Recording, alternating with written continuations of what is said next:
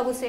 पश्चिम भारत एवं राजस्थान के इकलौते हिल स्टेशन माउंट आबू के अरावली की उच्चतम चोटी गुरु शिखर में स्थित उपखंड अधिकारी कार्यालय माउंट आबू से 11 दिसंबर को देश भर में होने वाली राष्ट्रीय लोक अदालत के निर्देशों व संदेश को लेकर एक विशाल रैली निकाली गई, जिसकी हरी झंडी पर ऊपर मुख्य न्यायिक मजिस्ट्रेट न्यायाधीश ललित पुरोहित एवं भारतीय प्रशासनिक सेवा के अधिकारी उप जिला कलेक्टर अभिषेक सुराना ने दिखाई और कहा कि माउंट आबू के इस ठंडे वातावरण में हम देश को, जनता को संदेश देना चाहते हैं कि आप अपने मामले 11 तारीख को होने वाली राष्ट्रीय लोक अदालत में समझौते निपटाएँ। इस अवसर पर माउंट आबू नगरपालिका आंगनबाड़ी केंद्रों की महिलाएँ सभी भारी संख्या में कर्मचारी, महिला व पुरुष लोक अदालत का संदेश लेकर चल रहे थे।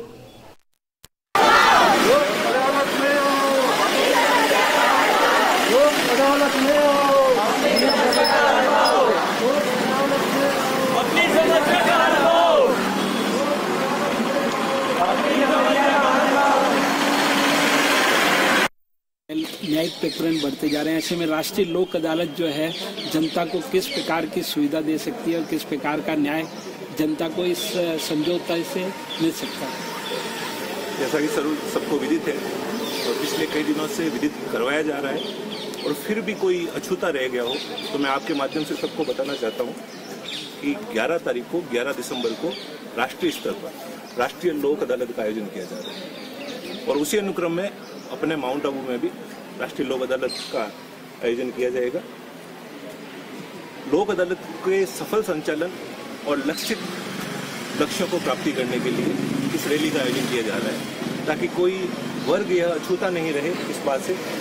कि उन्हें इस बात की जानकारी नहीं थी कि 11 तारीख को लोक अदालत का आयोजन किया जाएगा जहाँ तक लोक अदालत का उद्देश्य है, हर विवाद का एक अंत होता है, ये सबको पता है। अंतहीन कोई विवाद नहीं होता, लेकिन उस विवाद के पीछे एक कारण होता है। न्यायालय में जो विवाद का प्रारूप पेश किया जाता है, वह प्रारूप उस मूल कारण को दबा के विधिक कारणों को बताते हुए पेश किया जाता है। जिससे फैसला होने के बावजूद भी विधिक कारण तो समाप्त हो जाता है, लेकिन मूल कारण समाप्त नहीं होता और वो फैसला फासलों को जन्म दे देता है। लोक अदालत के में न्यायालय मूल कारण को पहचानने की कोशिश करता है और मूल कारण का अंत किया जाता है, जिससे न तो किसी पक्षकार की हार होती है, न किसी पक्षकार की जीत होती है और वह मूल कारण समाप्त होकर फासला नहीं बढ़कर वास्तविक फैसला होता है। तो यही उद्देश्य है लोक अदालत का। मैं आपके माध्यम से समस्त जनता को अपील करना चाहूँगा कि 11 तारीख को अपने मूल कारण, जो विवाद के मूल कारण है, उसको लेकर न्यायालय में उपस्थित हुए। आपके विवादों को सुना जाएगा, आपके मूल कारण का निस्तारण का प्रयास किया जाएगा। मैं आपके माध्यम से धन्यवाद ज्ञापित करता चाहूँगा।